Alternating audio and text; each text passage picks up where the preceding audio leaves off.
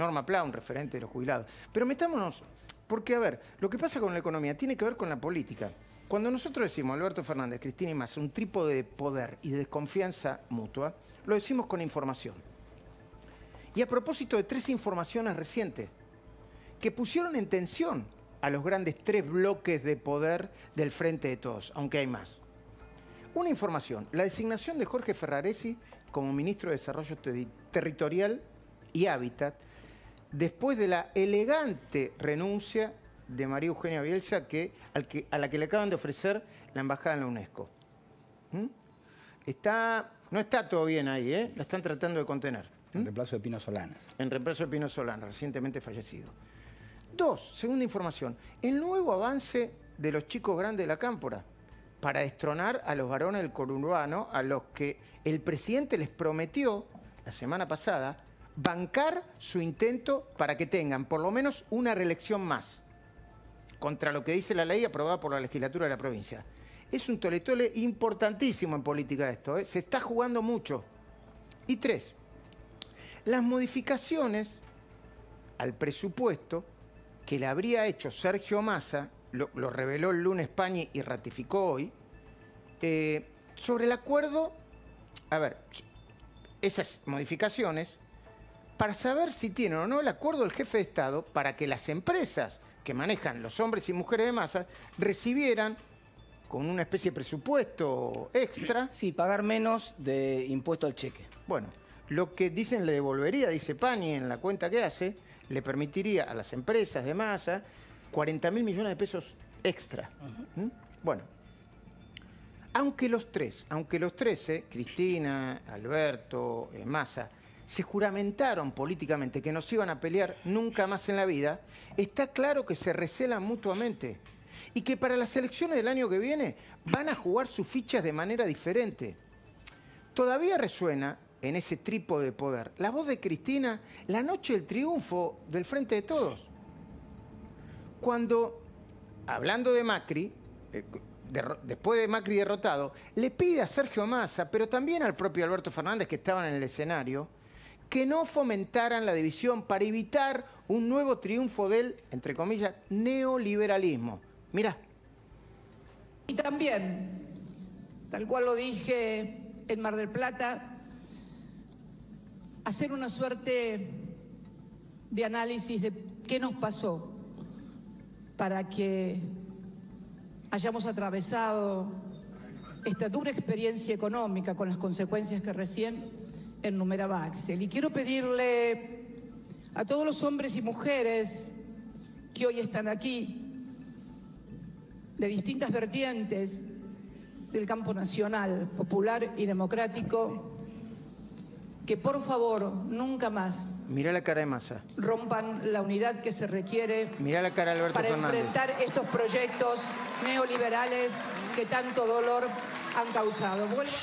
De nuevo, ¿no? Cristina en el centro, en el trono, megalomanía. No, eh, eh, rompieron más y Alberto Fernández. Ella no rompió nada. Ella no rompe nada nunca, todo lo rompe lo demás. Pero ¿cuál es la situación del trípode de poder hoy? Para empezar, la vice, Cristina, nunca terminó de procesar las acusaciones de masa en el cierre de campaña de las elecciones de 2015, cuando dijo, palabra más, palabra menos, voy a meter preso a los corruptos y voy a barrer a los gnocchi de la cámpora. ¿Te acordás? Mirá. Voy a ser presidente porque me da asco la corrupción. Los voy a meter presos, yo no les tengo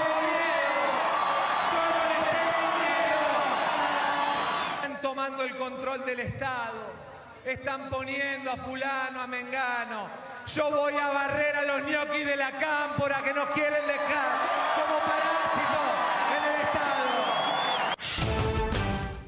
A ver, Cristina no se olvida de esto, ¿eh?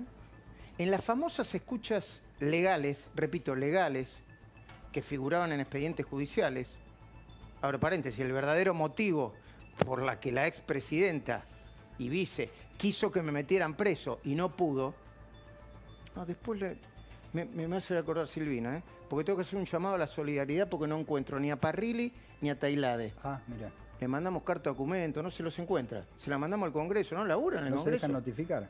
Parrilli, Tailade, No se dejan noticiar. Viste, son como esos esposos que cuando lo estamos buscando, en el caso debe ser al revés también, ¿no? Eh, la mujer por la cuota este, alimentaria no aparece por ningún lado. ¿Dónde están? Eh, eh, sean caballeros, sean dignos. Bueno, volvamos. Las escuchas son el motivo por el cual intentaron meterme preso y no pudieron. Pero en, una de esas escuchas aparece Cristina Comparrilli y se nota todo el rencor que la vice tenía contra Massa. El mismo rencor que le profesaba a Néstor y por el que ambos estuvieron a punto de agarrarse a trompadas, Néstor y Sergio Massa. Estuvieron a punto de agarrarse a piña el día después de la derrota electoral de la legislativa de 2009. Massa era jefe de gabinete, después se fue por eso, y había ido como candidato testimonial, ¿te acordás? Junto con Scioli. Eh, Massa, según Kirchner, había salvado las papas en su distrito, había puesto eh, huevos en varias canastas, y Kirchner lo consideró entonces un traidor que lo había traicionado, que había jugado dos puntas. Por eso, al otro día de la elección, el expresidente se le fue al humo en la Quinta de Olivos. Lo tuvieron que agarrar porque se agarraron, los tuvieron que separar. Cristina de eso jamás se olvidó. Y seis años después, en esas escuchas legales, mandó invocar a Massa, lo mandó invocar, invocalo. Se lo pidió obviamente a su mayordomo político, Oscar Parrilli. Poneme por favor esa escucha legal en el diálogo entre Cristina y Parrilli, donde involucra a Margarita Stolbizer, pero le da para que tenga masa. Dice que la Stolbizer está loca ahora que le dice... Sí, sí, sí, hoy también... Aparte metió la pata con esta última denuncia, pero mal. Es mala, mala hija de p***. Más dije... Y el que la manda a hacer eso es Sergio Massa.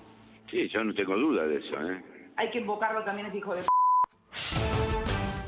Y al final, como si esto fuera poco, el 27 de octubre pasado, no hace 5 o 6 años, en una carta, Martín Rodríguez Yebra, que está por acá, dice, tiene 1800 caracteres, ¿la pasó? Son 1800 caracteres, son muchos, ¿eh?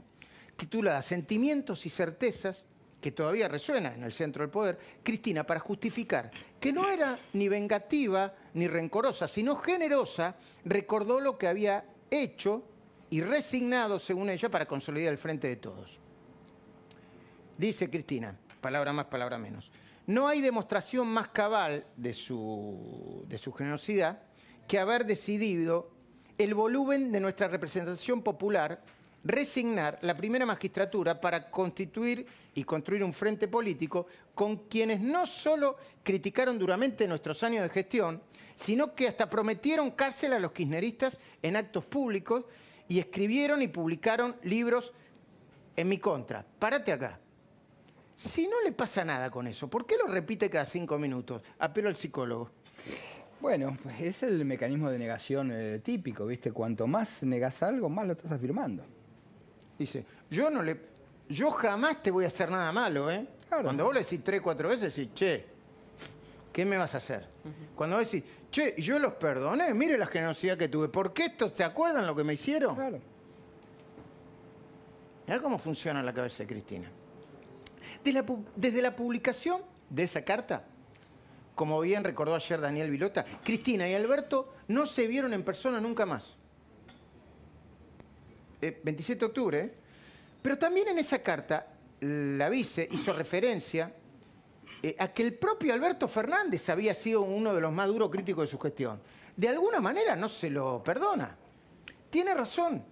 Esa famosa, esa famosa nota que le concedió a, a un periodista de DIM en 2015 es un compendio de, que demuestra que Alberto no se guardó ningún reproche político para Cristina.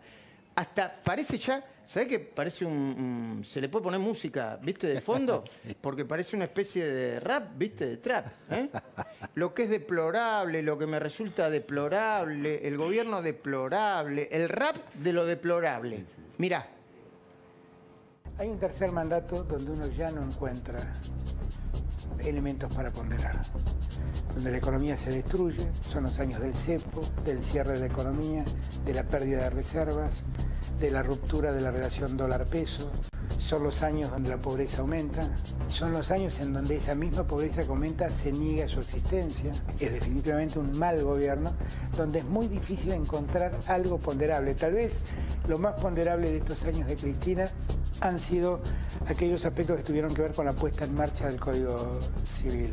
Después toda su acción institucional es deplorable, todo lo que hizo en materia judicial es deplorable, toda su intromisión en la justicia es deplorable, lo que hizo con el Consejo de la Magistratura y con la designación de los jueces subrogantes, lo que inició con la llamada democratización de la justicia, todo eso es deplorable. Lo que hizo con el Tratado de Irán es deplorable, la muerte de Nisman es deplorable, la no resolución de la muerte de Nisman es deplorable. El segundo mandato de Cristina a mí me cuesta muchísimo, muchísimo encontrar un elemento valioso. Wow, ¿no? Yo lo vi varias veces ya, pero te sigo diciendo, wow. Ahora mismo, Alberto y Cristina se hablan y toman decisiones a través de terceros. De Máximo Kirchner, de Guado de Pedro y del propio Parrilli, aunque con Parrilli habló de temas puntuales, como el procurador de, de la Nación. Sabemos que Alberto todavía está dolido por la carta de Cristina. Está dolido. Y además puso un. Yo creo que puso una distancia ahí, ¿eh? Me parece que puso una distancia. Y también sabemos que Cristina se autofelicita, porque ¿sabes lo que dice ahora Cristina? Que después de la publicación de la carta, el dólar que iba camino a superar los 200 pesos eh, empezó a bajar. Mira.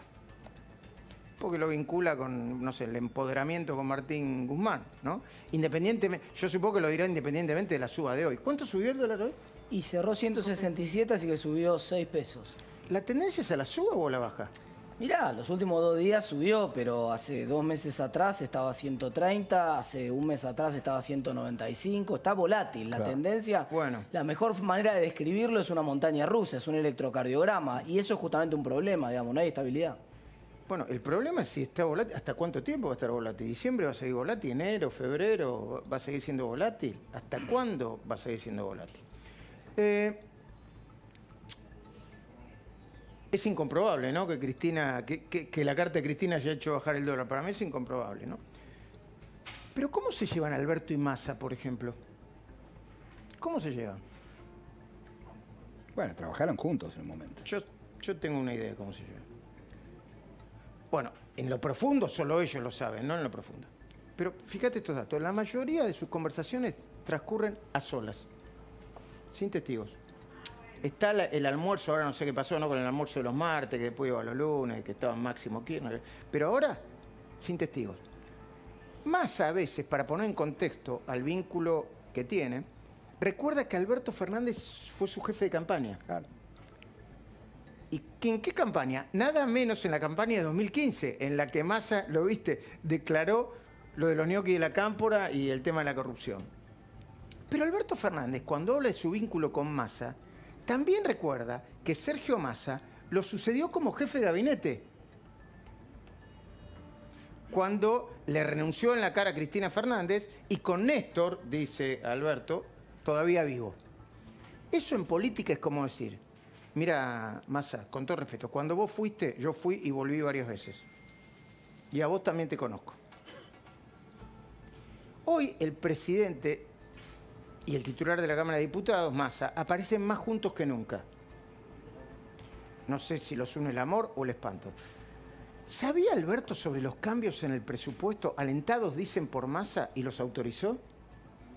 Porque guarda que esa planilla Excel es, debe ser muy importante, ¿no, Martín? Digo, un numerito te cambia, te cambia miles y miles de millones la, la vida. ¿m? Por supuesto. Eh, ¿Se cortó solo Massa y pasó por encima del presidente y Cristina también? La vuelta del proyecto de ley del presupuesto con media sanción que se divulgó y che, tiene que volver el presupuesto, ¿es de verdad porque se agregaron de olvidarle? de- de- Se olvidaron de se olvidaron de agregarle? Eso es. ¿Eso qué significa? Ah, bueno, te tendría que interpretar, Cansancio. Luis, es un, es un desafío es una que no voy a asumir. Es una sesión. No, no. ¿Se olvidaron de agregarle la- la- las planillas de la obra pública? ¿Y su financiamiento a cada una de las obras públicas? ¿O es porque Cristina y Máximo quieren volver a revisar cada uno de los artículos? Que evidentemente, si es cierto lo que dicen, no fueron revisados.